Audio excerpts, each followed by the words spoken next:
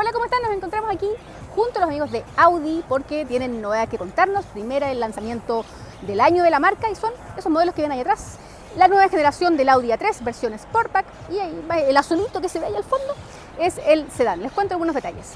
Bueno, este Audi A3 tuvo, se presentó en su primera generación en el 96. Esta es la cuarta generación que se presentó por ahí por el 2020 a nivel internacional y ahora llega acá a Chile.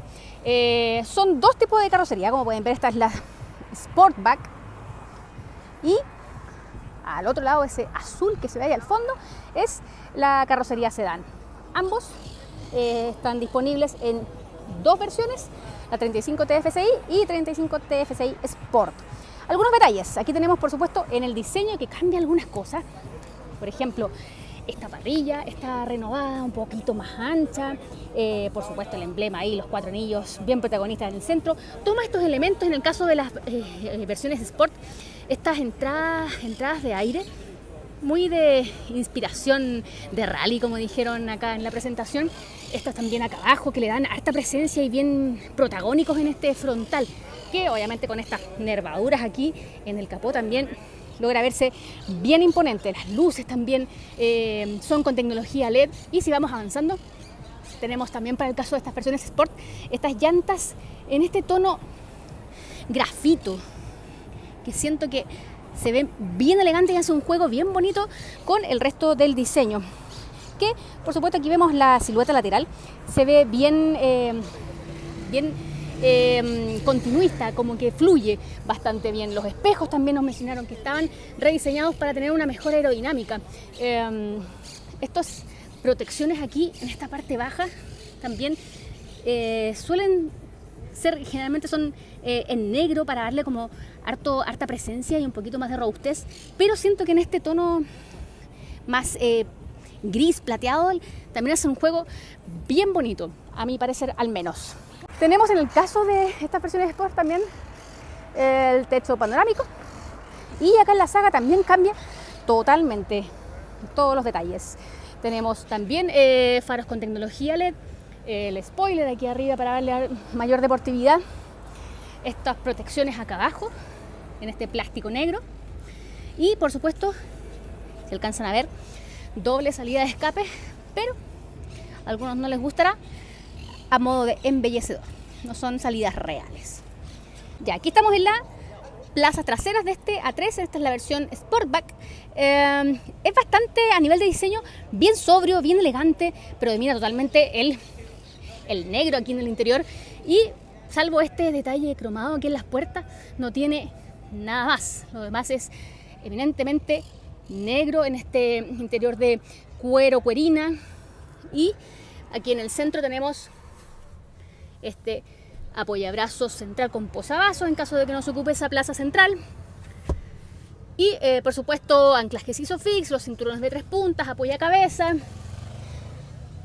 Y también he mencionado que algunos elementos aquí del interior tienen, fueron, eh, se utilizaron botellas, fue reciclaron botellas, estas botellas PET, para hacer unos hilos ahí que se ocuparon en el interior de este A3. Veamos por delante.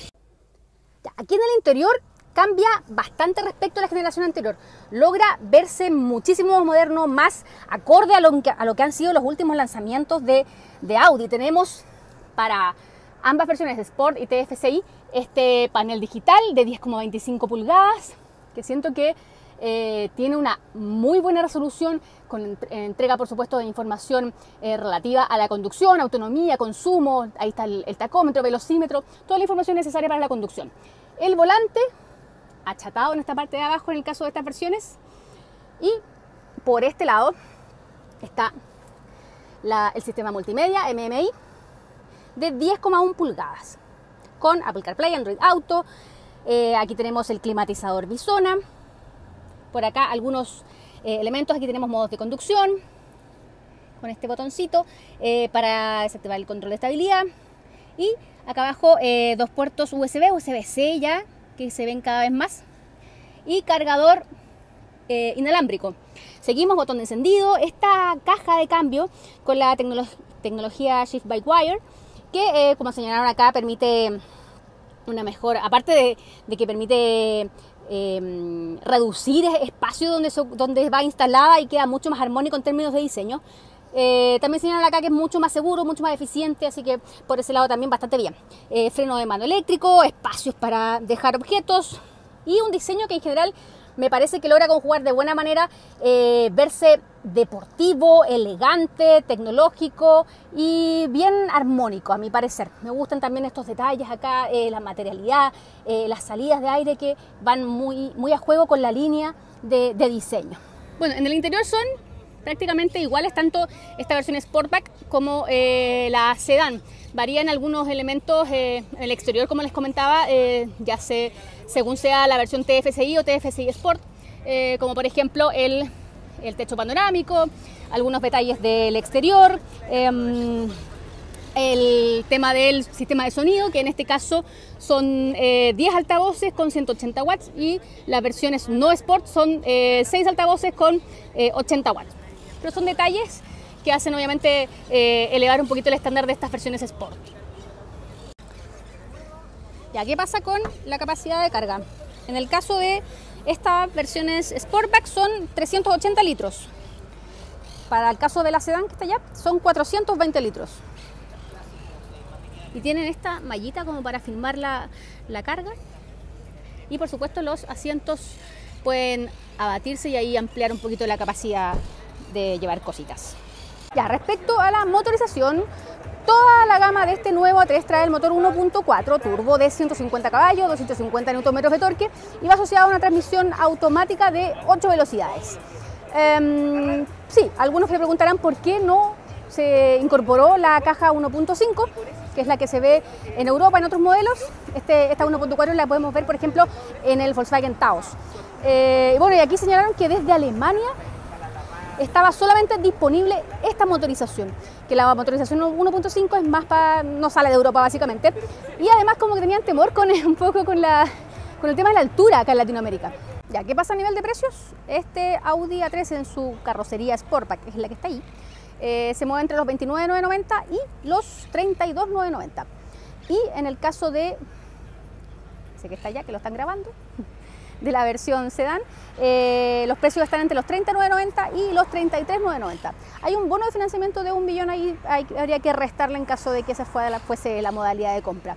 Eh, en cuanto a seguridad, tenemos 6 airbags, control de estabilidad, control de tracción, frenos ABS, eh, control crucero, sensores, cámara de retroceso, pero al preguntar sobre sistemas de asistencia en la conducción, los ADAS, eh, nos mencionaron que no, no, no, no, tiene incorporado ningún sistema ADAS. Y ahí, claro, puede ser la, la pata coja considerando eh, lo que es la marca, considerando el precio de los modelos, de este modelo.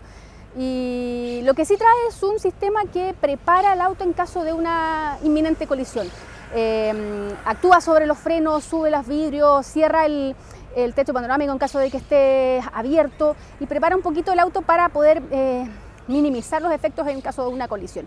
Pero aparte de eso, no trae ningún otro asistente, ni, monitor de punto ciego, ni alerta de tráfico acusado, ni mantenimiento de carril, que claro, uno pensaría que debería incorporar algunos de esos elementos porque ya los vemos en otros modelos y por un precio menor.